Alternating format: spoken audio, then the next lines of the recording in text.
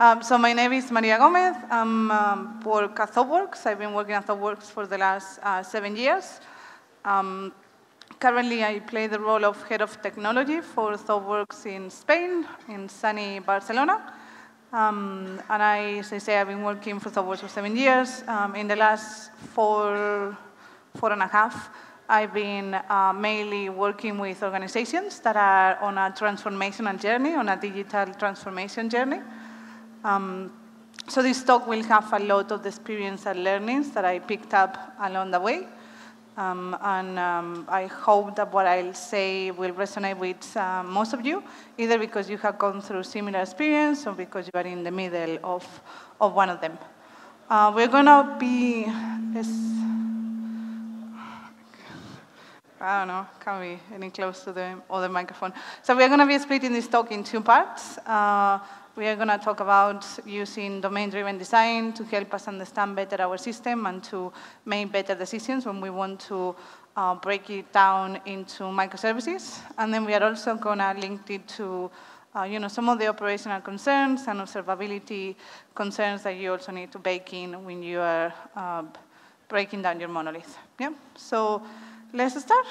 Um, I guess this is uh, kind of the typical scenario. You have a monolith um, that has been working for many years, but is now, you know, showing its age and is slowing you down because it's not giving you the uh, delivery speed that you need or the business needs, and also it's very painful to work with. It's very uh, brittle and very fragile. So, you know, you think that uh, moving into the um, amazing world of microservices will help a lot of, uh, will help you solve a lot of those problems, right? It will help you create that independence that you need, and it will help you um, increase the velocity and the delivery lead time that's, or actually decrease that time, so going to production much faster. Um, but you know, this is the dream, and it's a very naive scenario because um, in reality, things are, be, things are a bit more complicated. Um, normally, your system will look a lot like this. Um, you will have, um, sure, you have a monolith, but you have a tons of other stuff um, that is also interacting with that. Um, there will be a lot of history in this system. You might have, uh, you know, prior intents or attempts to break that down into different parts, and those attempts uh, might not have gone according to plan, and they were abandoned halfway through. Uh, you might have, you know, just um, integrations at various levels. For example, you might have, sorry, there you go. So you might have, you know, different databases that are being accessed uh, by different services, and, you know, even the had job that uh, synchronize two databases. You will have services that are very chatty, so they're mixing or sending and receiving a lot of information among each other. Um, all of these things are um, a symptom. They are a symptom of, um, you know, taking decisions that um, some of those cases were purely technical and didn't take into consideration the business. And the result of that is that you end up with a set of services uh, that might not have the right boundaries, uh, because those boundaries were not set by, by the business or didn't have any, any business capabilities in mind. Um, and that's what I experience in a lot of the organizations that I work with. Um, and what I do with those teams and what I do with those organizations is I help them take a step back and start looking at what are the business capabilities, what is that business domain, and how can we uh, start modeling our services around those capabilities. Um, so domain-driven design um, allows you to think um, around those terms and to help you um, fix that root problem that you have. Um, so, um, so yeah, so then you can end that uh, identifying all of those subdomains and then extract them into uh, better form services. Um, how? Well, I'm um, going to go very quickly to just give you a definition of what domain-driven design, design is and how it can help you. So domain-driven design is just an approach to build software uh, that has complex and ever-changing business requirements. Um, and I guess most of us are in that situation. We, as an organization, we have a very complex business, and we want to evolve it, evolve it to, to, be even more complex. Um, there are multiple books in the subject. Some of them are more theoretical than others. Um, regardless of what your choice is, um, the truth is that there is a lot of literature that you can go and read to learn more about domain-driven design if uh, you haven't done so. Um, and it's a thing that ultimately is gaining a lot of traction also. Um, I'm just going to go through a very, a couple of very key concepts. Um, so the main domain side talks about the concept of a domain. A domain is uh, basically the activity that an organization does. Where does it does um, its work? So you know, finance, health, um, retail, things like that. Um, whereas subdomains are abstractions that describe a select aspect of that domain. So if you're in the finance, a subdomain could be payments, um, statements, credit card applications, etc. Um, ubiquitous language, which is a word that I cannot pronounce, um, is the language that we use to talk about uh, things that happen in that subdomain. And uh, bounded context is the explicit boundaries uh, eh, within the um, boundaries within which a subdomain exists and it's where we also use that, that language that we created. Um, if we kind of try to illustrate all those concepts, still in a very theoretical way, um, we can use this image from uh, the Martin Fowler blog, uh, blog. Basically, you might say I'm working in the e-commerce uh, domain, and within that I have two subdomains, the sales and the support. Um, subdomains, I also have defined the bounded context, so that's where the sales domains finish and the support uh, context starts. Um, and I also define certain entities um, that will um, give me um, you know, the functionality that I need. Note that in both of them I have the concept of customer and products, but they will mean different things in each one of those domains. A customer in sales will care maybe about financial information or payment information, and, and it will have actions that are related to that, whereas in support it will be something completely different. Um, so the language and the meaning of all of those entities will be different in each one of, of, the, of the domains. Um, so now the power of domain-driven design is that it allows you to draw all of these boundaries, all of these lines, and you can create specializations within them. So you can start creating product teams that specialize in each one of those subdomains. Right? So you can have a sales team that has product people and technical people that are solely working on evolving that domain. Um, and therefore, you can start achieving that autonomy that you need, um, not just in the technical sense, but also in the business or the organizational sense. If we kind of move it to, we bring it back to a bit more of a implementation details. Uh, we go back to our monolith. We can use domain-driven design to identify the subdomains that we have within the monolith, uh, draw those boundaries, um, focus on isolate them within the monolith. That's very important. You should not split things before you have removed all the dependencies uh, through very clean APIs in the place where they are. Um, and once you have done that, you can then extract them into different microservices at the same time as you are also reducing the complexity of that monolith where they no longer live. Um, so there are many ways of going about this process because it's a very complex process. I'm going to show you uh, one exercise that I've done in many places that has helped teams to understand a bit better how to go about identifying those domains.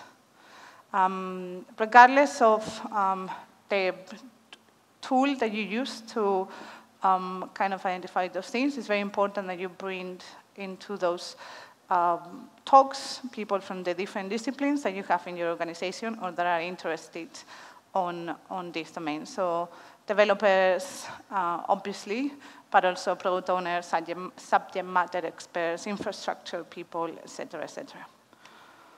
So, um, so the um, tool that I use a lot is event storming. Uh, how many of you know about event storming? Okay, cool. So a fair amount of you. Okay, so event storming is just um, workshop formats um, that allow you to quickly explore complex business domains, right?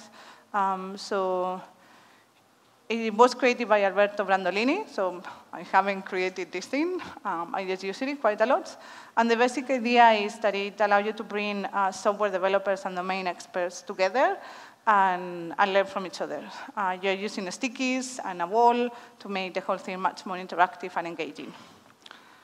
Um, there are various concepts that they're using this type of exercise that are also in line with the domain-driven design concepts, so it's all kind of nicely put together. Um, a domain event is something that has happened um, and is of interest on a, of a domain expert. A command is an external instruction to do something, uh, so what triggers that domain event. And an aggregate is the portion of the system that receives the commands and then deciding whether it needs to trigger that event um, as a reaction from that command. So, you know, if we are in the retail uh, or in the e-commerce space. Um, an event could be that an item has been added to the basket. Um, a command can be, you know, user press buy or something like that. Um, and the aggregate could be the basket itself. Right? So um, let's look at an example and think of how this workshop will go um, and how will it work. So um, let's imagine we are, in a, we are building, or we have a cinema website in which we can go and buy tickets. You know, people go and buy their Avengers Endgame tickets in there. Um, and, and, what we are doing is getting people from all of these different disciplines, and we say, hey, we need to map that process. Um, we have the starting event, so where people enter the sites, and we have the ending event, so where uh, the customer will finish with that flow. Um, and the goal of this workshop is to just fill the gaps, right? Um, so the process could start at either side of the flow, I guess, uh, or in the middle. But the, the idea is that you start filling it with all the events of all of those things that will happen in between. So, you know, the show is selected, uh, the set, the seats um, are reserved, um, the ticket is added to the card, and so on and so forth until we get to uh, the email that is sent with the ticket confirmation. Then we look into what are the commands that are triggering those events. And as you can see, we are not going into technical stuff. Here we are purely talking about business. Um, so what are the commands that will trigger all of these events? Once we have that, we can start saying, okay, so what are the aggregates? What are the entities that we think can uh, you know, handle these commands? And then we start like having a discussion and looking about them um, and talking about them. So we can say, you know, this area over here looks like a buyer is the one that is, you know, reacting uh, through uh, reacting um, against those commands and taking the necessary actions. Whereas over here we see more the figure of an accountant. Uh, on the other, other, at the end we see a customer service. Um, so then we start drawing those lines. And those lines is the one that will uh, kind of tell us where our boundaries or our bounded context uh, will lie. And obviously, you know, the first time you do it, uh, you might not be super certain about those lines, and that's fine. This is, you know, an iterative process that you will need to repeat a few times uh, over, um, you know, many months to, to make sure that you are going in the right direction. Um, if we go to another example, and this is something that I've done quite recently in one of the projects that, I involve, that I'm involved in.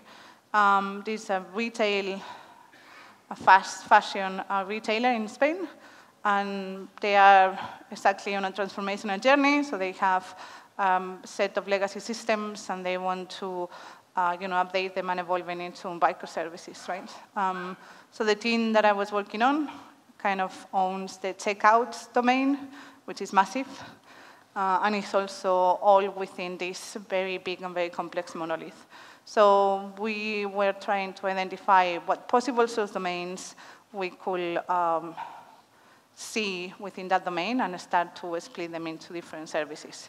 So this is a very um, you know, simple flow of what a checkout might look like. Uh, obviously, the one that we used was a bit more complicated, but for the sake of this example, I just used a reduced one. Um, and again, we started with like um, when the user press the basket button, that's when they check out the start. And it start with the first event, which is the order, an order gets created. Up until then, it was like a basket, and now it's, it's an order. Um, and at the end of the checkout process, the confirmation is sent by email. And we did the similar thing. We found all of the events. We also found all of the commands and identify them all of the commands, uh, the aggregates that were um, managing all of the commands, and we also start drawing the lines. So obviously here we got a bit more uh, stuff going on. Uh, again, our lines were a bit fuzzy, uh, but as I say, we kept repeating this process uh, um, over a long period of time, and we are still repeating it every so often to make sure that we are still where we think those boundaries will be, or we are changing them as we know more. Um, so now that you have identified all of these boundaries, you can, you know, just start with the nice stuff, right? So you can start isolating those concepts, those contexts, uh, so then they can be extracted into services. So, um, and I'm going to be repeating this a lot. Um, it's very important that you isolate them within the monolith. Um, so no database integration, no coupling with other subdomains. Um, you should be having a very nice package or uh, something that is independent, that has a nice and clean API, uh, that the rest of the system can interact with, uh, and that that thing is very, um, very well put together, right? So um, uh, this is not a shift and lift. Uh, you will need to do a lot of refactoring to get to the point. So this is not going to be easy. Um, but when you have done that, it's going to be much easier to then just break it that and creating a new artifact out of that. Uh, because bounded context uh, have many attributes. Um, three of them are that uh, three of them are that is a high cohesive and loosely coupled um, context, and that it represents a business capability. So um, payments, statements, as we say before. Um, and if we added other stuff like independence in terms of the technical of the tech stack, um, independence in terms of deployment, we isolate the failures and we um, scale it in an individual and independent way, um, guess what? We have a microservice. Um, so, you know, it's very important that defining uh, our well, um, well-defining the context will give us uh, halfway through getting a very well-defined microservice. So, uh, what's next? Um, if we go back to this retail example, right, um, we say that we have identified many business, many bounded contexts. Uh, so we have promotions there, orders, uh, payments, um, delivery. So, you know, we can't tackle them all at once. That's not going to be very fun, and it's going to take us a long time until we see any results. Uh, so we need to pick one. How can we pick one? Well, in uh, this case, um, we knew that um, as a business, as, as the product evolved, wanted to um, start exploring and experimenting with new ways of uh, offering uh, delivery services to the users um, and just improving the service that they were and the experience that they were having uh, currently. So delivery uh, seemed to us like a nice um, little um, place where we could start extracting that context and that functionality. Uh, but there are many dimensions uh, to decide where to start. Uh, in our case, we use pace of chain as the, the biggest one because we wanted to create a place that would allow us to chain and experiment very quickly. But in other cases, you might think that performance is a, is a better indicator or a higher priority. You feel like there is um, a place in your monolith that might be uh, using a lot of resources and therefore making the whole monolith using a lot of resources and that it might be better off if you split it into something um, isolated or independent. Um, whatever it is that you decide is your driver, uh, make sure that you are able to articulate what's the business value that is giving you. Uh, and you should have a pretty good idea by now because you have done a lot of conversations with the business. Um, so Definitely, we need to be able to say, we want to extract these uh, microservices, we want to do this as part of this business initiative and not as a one-off thing uh, completely separate from, from the business.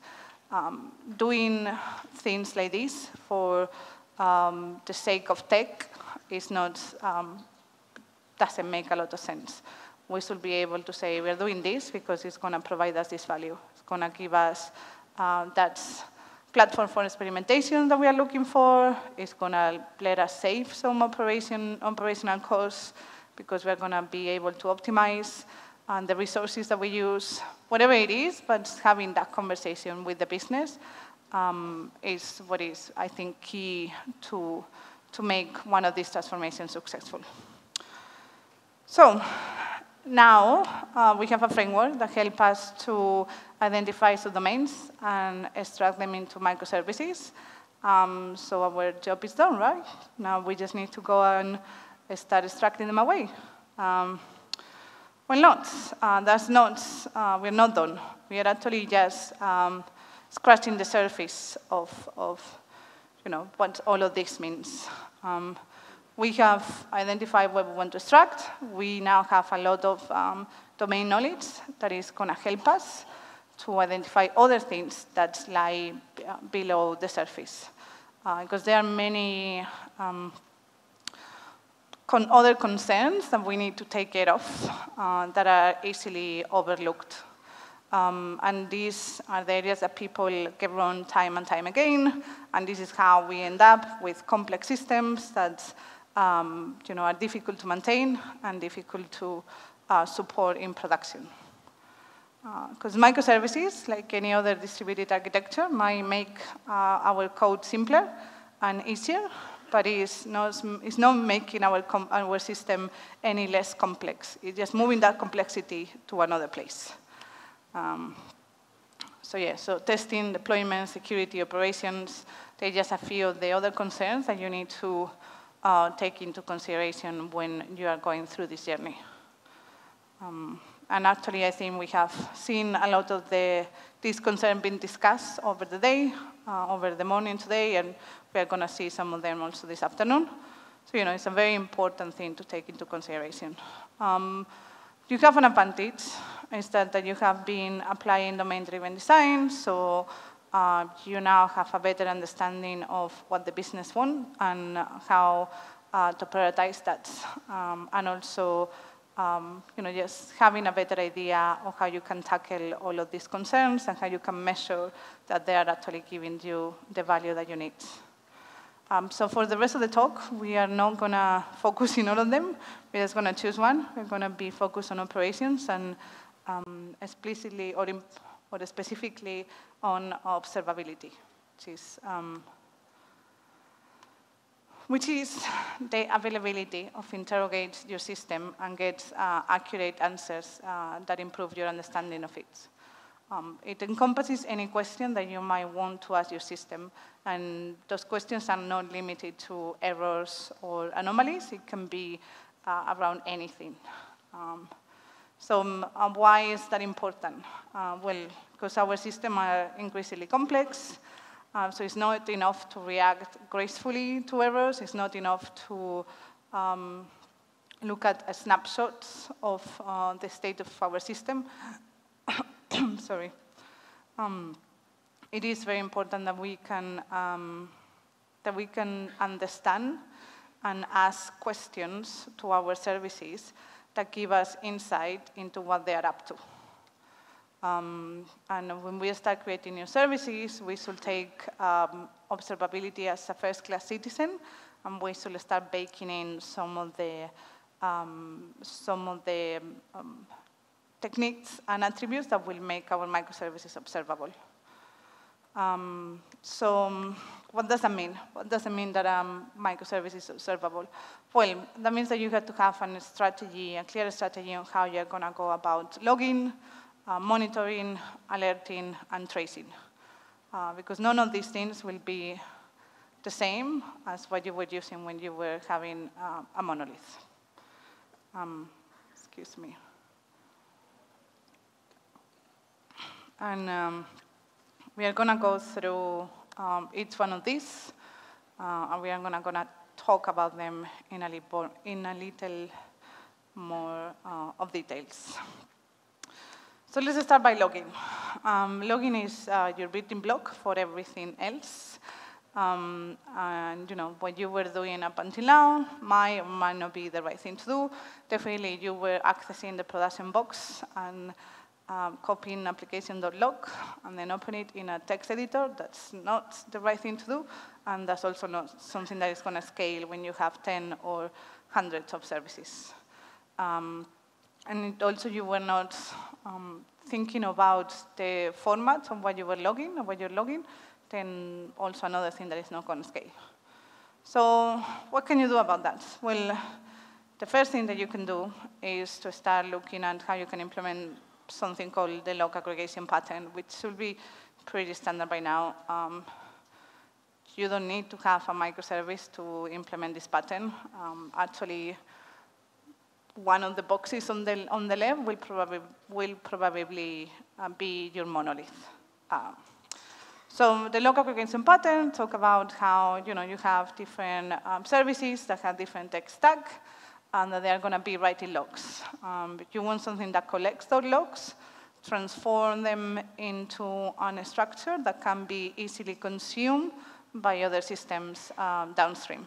Uh, those can be your monitoring tool, that can be a, visual, a log visualization tool where you can query uh, all of those logs. Uh, but that's kind of the idea here. Um, you should, we should set up um, our new services in a way that they can log, um, in a way that they can log, uh, that, that, the log can be collected. Um, and you should also be thinking about building this infrastructure if you don't have, if you don't have it uh, already in place.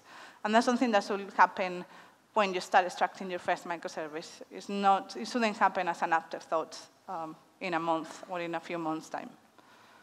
Um, I don't know how uh, many of you are um, familiar with the ELK stack, but this is, you know, like very standard way of implementing this, um, this pattern. There are other ones. You can use Splunk, for example, some other ones. Um, the library that each one of the microservices use to implement or to um, you know, write logs is really not the most important thing, but what is important is what they log and what is the structure of that. Because uh, you're going to have a number of different microservices. If they don't share the same structure, then it's going to be very difficult for um, anyone to try to effectively query uh, and use that visualization tool. Um, so, you know, make sure that you have some kind of standard and that say we are going to be logging uh, in JSON. These are the um, key value pairs that are going to be mandatory for all the logs, and then you can start putting the ones that are more specific for your service after that. After that uh, but you know, you can specify what are the ones that then uh, you want always, so then you can index them uh, when they are in whatever data storage that you decide to put them. Um, and you know, as with any of the things that we have said, um, you probably won't get it right the first time, so just start iterating as you see that, uh, that you are learning more about your systems or your services. Um, the second thing is monitoring. Monitoring uh, has a goal, and that goal is uh, to have enough information to help you make decisions. Um, that information could be, you know, you can make decisions related to technology, so technical decisions or operational decisions. You can also make business decisions with this information. Doesn't matter, but it's important that you have a centralized place to see all of that. Um, you want to see trends. You want to see, observe the system over time uh, and confirm your hypothesis. Um, when a new functionality or a new microservice comes um, online or in production, you want to see and understand what is the effect that it has in the whole system. Um, probably the tool that you're using for querying your um, for going your logs has dashboard capabilities, and you need to go anything, uh, you need to go to something very uh, you know, sophisticated. You can start from something very simple and then keep evolving. And, and if you feel that that tool is not giving you the requirements anymore, you can upgrade it to something different. Um, so um, if I go back to the example of the um, retailer, we did, um, as I say, we start extracting the delivery service. So for us, you know, looking at how that service was behaving was really important. So we started monitoring certain metrics in there. Our data points were response times and things like that. Um, and then also we started to um, understand that this had also had an impact on the business. Uh, you know, after all the conversations that we have over the process, we had a better uh, understanding of what's the impact that might be, and we wanted to test out our hypothesis. So our hypothesis was that replacing and extracting that monolith, uh, sorry, that microservice will not affect sales. So the way that we uh, test that out was by um, doing something called semantic monitoring, in which we automated certain flows, um, and we run them in production. Uh, and we run them constantly. That's not uh, a one-off thing. We just run them constantly, and we grab that data and plot it in our monitoring tool. So now we can see uh, not only how every single chain affects our service, but also how it affects the whole um, customer journey. Um, as I mentioned before, it's very important that all of this is in one centralized place and that can be accessible by everyone in the teams. So um, these dashboards and those uh, metrics that you monitor are not just a thing that are interested uh, or interesting by uh, for the operational team or the business people. This will be something interesting for um, everyone. Um, and as I also mentioned, you can use many tools for doing that. Um, Kibana is a very simple option. It gives you very nice uh, visualization and dashboards capabilities. Um, and as I say, you're using Kibana for logging aggregation. You may as well also use it for this. Uh, but you can go for something a bit more complex like Prometheus or Datadog that can also give you um, very nice functionalities. Regardless of what you use, uh, be careful not to add too much stuff. You might end up on uh, just getting a lot of noise that is not helping you. Uh, you have a lot of things uh, in there. You it might be as useful and not have, uh, not have any, because uh, everything is just lost in, uh, with all of the noise.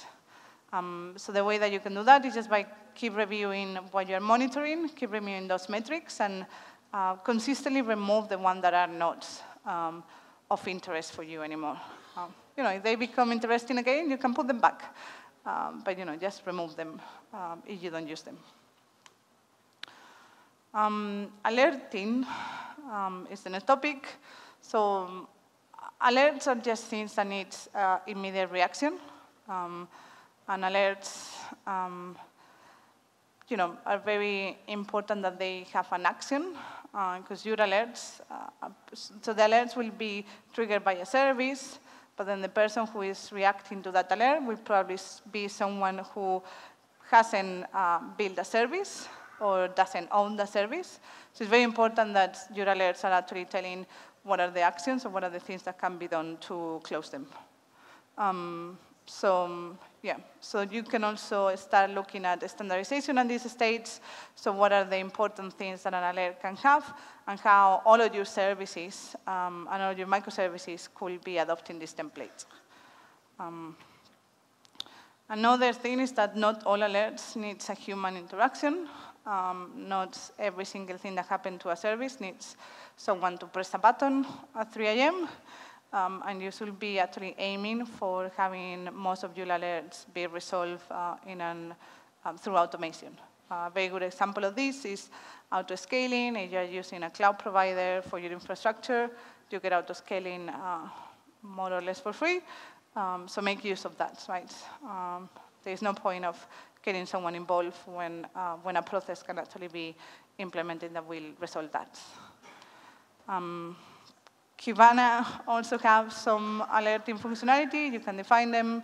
Um, Prometheus as well, and Opsgenie is another tool that I have used uh, quite nicely um, to, to set up all of those alerts. Um, and last but not least, um, we should also be looking at tracing. Uh, tracing is going to be definitely useful for debugging. Um, you will, at some point in the near future, uh, we need to look at uh, production errors or just look at, you know, find, trying to find some bottlenecks in your system uh, or whatever that is. And that's going to be different to what you were doing in a monolith. Um, so, you know, you should be able to um, start thinking about how you're going to solve uh, that tracing problem. Um, why is it super important? Well, it's super important because you're going to be um, having a request that will uh, travel through your system, going or jumping from service to service, from microservice to microservice. Um, and in some cases, that communication might be asynchronous, or in some other cases, synchronous, whatever that is. But it's going to be very difficult to uh, try to trace all of that. Um, when everything was in a monolith, it was everything a single transaction, probably, so it was much easier to do that. So um, the first thing that you should be doing is to um, add just a trace ID or a correlation ID to every request that enters your system. Um, most of the frameworks that you will use to build your microservices will have a capability to add that trace ID. Um, so that should be easy enough. Um, and then if a problem or you need to go and debug something in production, you can just go to your logging uh, tool and logging visualization tool, and then go and search by that trace ID, and that will give you a picture of uh, all the places that that uh, request uh, went through. Um, you can then start putting that jigsaw, that puzzle together, because you will have all of those uh, pieces. They might be even out of order, so you uh, will need to go and work on getting uh, all of that sorted and get the information that you need. Um, this, this type of work might be a bit tedious, and it might require a lot of knowledge of the system as a whole and different microservices. Um, so this might not be enough for you. You might want to start looking at a tool that allows you to put that picture in a more, uh, in a simpler way or an easier way. Um, and that's when you can use um, something like distributed tracing, uh, which are you know, tools that will allow you to not just attach that um, trace ID to the request, but also send the information to a centralized place uh, that, allow, that will allow you to paint that picture for you. So you will have the image of where uh, your um, request went through, and it will also give you a lot more details than the one that you can, you can possibly have doing it by hand. Um, again, doesn't really matter what uh, the service is used for implement this, uh, these distributed tracing uh, capabilities. There are many libraries that you can use. Um, what is important, though, is to standardize on the formats um, that they're going to be using. Open tracing seems to be um, the better choice, the best choice right now. Um, and you know, most of the tools that you will use to then visualize and manage all of that stuff, like Zipkin, um, Datadog, Dynatrace, um, they are all um, accepting OpenTrace as a, as a format. So, uh, we have reached the end. Um, the takeaways, there are a few of them. Um, I think I pack a lot of stuff in the presentation, so there are a lot of things that you can, that I hope you can take away from, from, from it. Uh, microservices is really not a freelance. There are many things that you need to consider. Um, the most important one of them is that uh, we need to pay attention on what um, the value, the business values that we can provide and how we can um, align our technical interests with those business interests um, and create win-win situations. Um, so, you know, prioritize based on that business value. Uh, also, don't wait until you have everything clear and sorted. Um, start, you know, with what you know and keep evolving as you know more. Um, and also make sure that you include operational concerns and that you take advantage of all the knowledge that you have acquired by using uh, domain-driven design and by um, running event storming workshops um, to then identify uh, you know, what logging, alerting, monitoring, and tracing needs to happen um, on your new microservices. And with that, that's it. Thank you very much.